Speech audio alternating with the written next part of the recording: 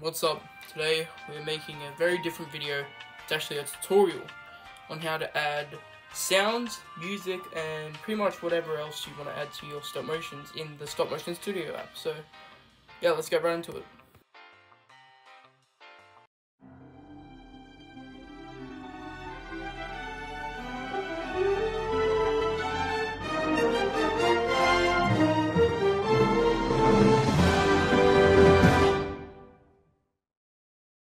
Alright, the first thing that you want to do is find a video, sound, music, whatever you want to add.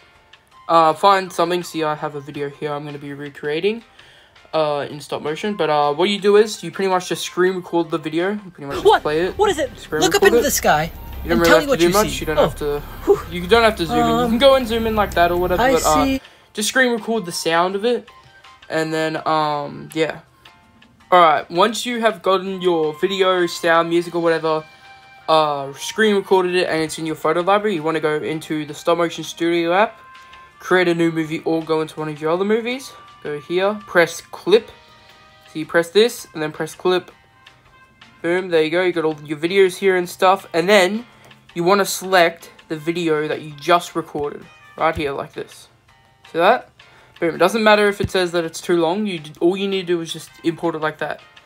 Alright, and now we just pretty much wait until it um, loads.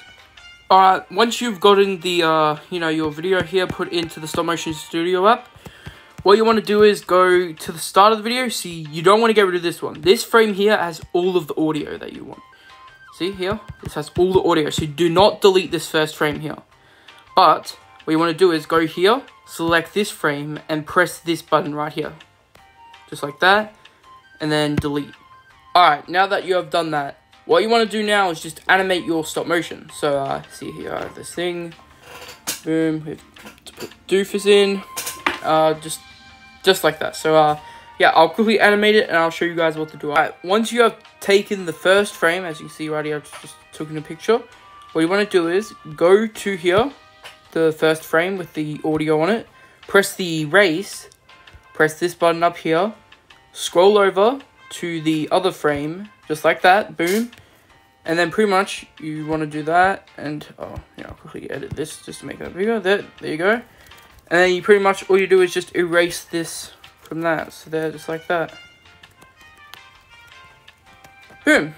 There you go, all finished. Uh, and then you can just uh, make a stop motion over the uh, audio, just like that.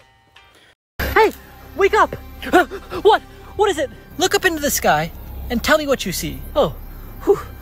um, I see millions of stars. Okay.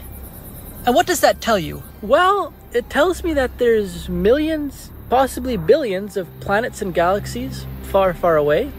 It tells me that there's no clouds in the sky, and it also tells me that it's probably like 3 a.m. and we should go back to sleep. What does it tell you? It tells me that someone stole our tent! uh, thank you all so much for watching the video.